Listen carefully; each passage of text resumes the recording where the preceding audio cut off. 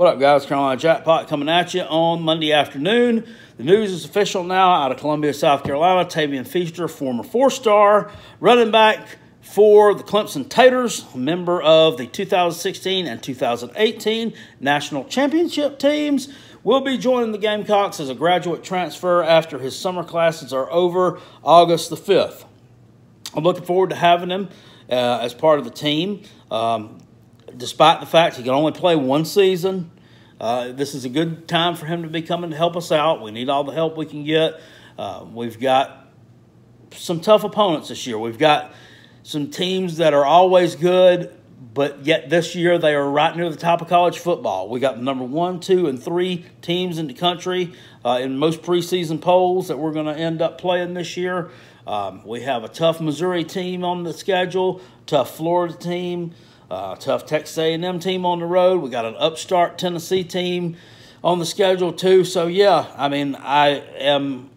Oh, let me mention we got Kentucky on the schedule too because they always bitch that we don't ever give any credit. So we got Kentucky, who we've somehow lost to five years in a row on the schedule. We need his help. I mean, we really do in the running back position. And one thing that I like about him coming in and being, he's not he's not an elite back, okay? He's not a flashy back, and he's not going to win the Heisman Trophy. None of that. So let's just get all that out. You can sit there and say, we didn't get a lot of reps at Clemson. The reason he didn't get a lot of reps at Clemson, I just don't think that his talent, you know, coming out of high school in Spartanburg, South Carolina, he was a high four star. He was the number two player on that class that year, 2016. He would have been their number one recruit if Dexter Lawrence had been there. He was very highly touted, and that just didn't really transition over to the college field. I mean, he never really um, made that big splash like he was expected to. You know, and he had his opportunities in 2016 as a freshman, and 2017 um, before Travis Etienne kind of sort of burst on the scene a little bit sort of midway through the season. People started to see how talented Etienne was, and he eventually took over the starting role, and the rest is history.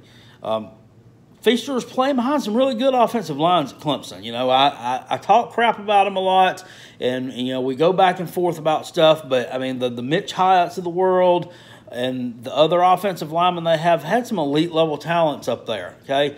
And the fact that he was only, you know, gaining 700 yards in his best season is not indicative of an uber talented back. I mean, it's just not let's face facts, he'll come down to Columbia and he will probably end up being the number one back on the depth chart after summer practice is over with before the UNC game. I fully expect that, but I also think that this may be a good thing to kind of push Rico Dowdle, who's also a senior back for us, to work a little harder. I think that they Will Muschamp's had some problems out of him uh, in the past couple years as far as work ethic, as far as, you know, maybe not putting putting his heart and soul into the game I got to. Maybe just push him just a little bit, give him that little extra nudge that he needs to uh, perform well also. I mean, and, and and that kind of competition is good competition.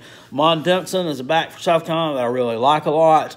Um, he's a power uh, type back, the one who kind of stays in between the guards and tackles. You know, he's not going to bust it to the outside, but he will kill you up the middle if given him a chance. Um, Deshaun Fenwick uh, showed some flashes last year of being really good uh, as a freshman. Uh, we got Kevin Harris coming in. Um, and Lavonte Valentine, another young kid who didn't play a lot last year.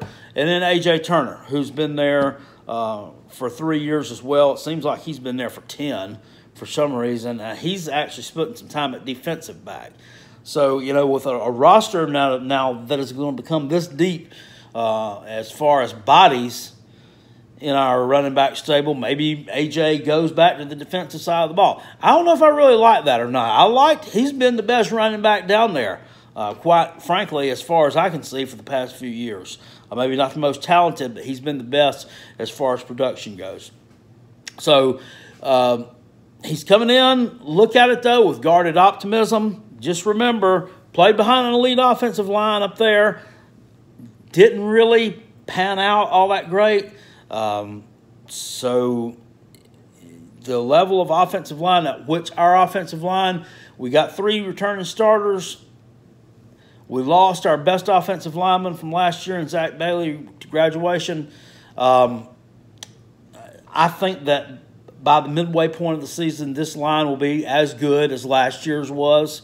Um, maybe a little bit better. I think that they're working really hard in the offseason, getting stronger, getting better, also getting better. Help Jake Bentley's game.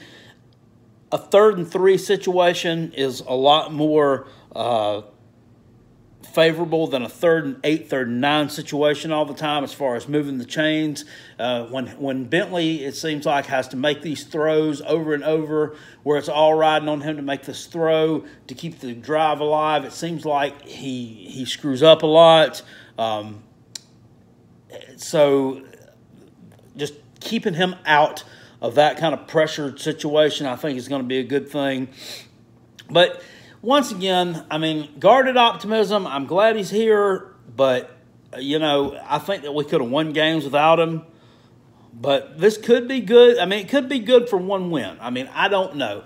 I mean, we really don't know until we he gets out there and plays. I mean, we, we just don't know because it's it's it's a proven commodity, but yet it's kind of an unproven commodity as well. I don't know. He was really good in high school, so I don't know if the fact that he didn't have eye popping numbers at Clemson is because he just really isn't that good, or maybe he just wasn't all that happy there. Maybe that just wasn't the right fit for him, and, and just now realized it once he had the opportunity to leave. Who knows? I don't know, but uh, we're glad to have you here.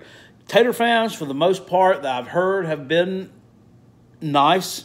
They've been cordial towards him for leaving. They've appreciated what he's done. Um, thank you for you know being a part of the team. You're always going to be a Tiger, all this stuff, and that's the kind of stuff you like to hear. There's a few of them who have said those things, but then they they slide it in there with a he's going to have a hard time being able to move the ball behind that offensive line. That's the ones that you know. I don't think that their that their uh, their heart was really in what they said because they had to make that disparaging comment. Oh, he would have been better off at Virginia Tech. How would how would he have been better off at Virginia Tech to lose to Old Dominion? I mean, come on. Virginia Tech is a team that peaked uh, in the 1990s from 2011. Uh, since or since 2011, it's been just a mediocre program, a mediocre program uh, that has not lived up to expectations in billing under this coach Justin Fuentes. I don't blame him for not wanting to go there. I really don't. It's a beautiful place, but that's about it. And some of the Tater fans are really kind of nasty towards him. Um, you know, that stuff just don't have no place in uh, fo college football fan bases anywhere. It just does not. Is still a young man. I mean, you don't need to you don't need to disparage him that way or talk to him. It doesn't matter where he's going to play. You can say, "I hope you have a great season again, every game except for when you play us." Something like that. That's about how I'd be about it. But at any rate, guys, I'm going to get off here and uh, go Gamecocks and uh, go number four. Spurs up to my toes up.